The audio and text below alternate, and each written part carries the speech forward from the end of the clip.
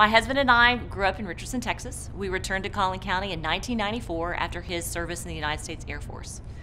My educational background is I have a BS in secondary education with an emphasis in mathematics and a master's degree in educational supervision and administration.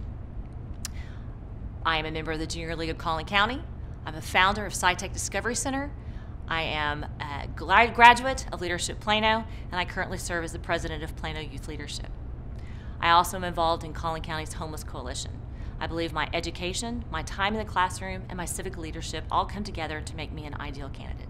With Collin County being one of the fastest growing counties in our country, the Collin College trustees have a responsibility to manage that growth in a way that benefits both students and taxpayers. The college trustees have a responsibility to provide awesome learning opportunities for our students, as well as respond to the workforce needs of a dynamic economy.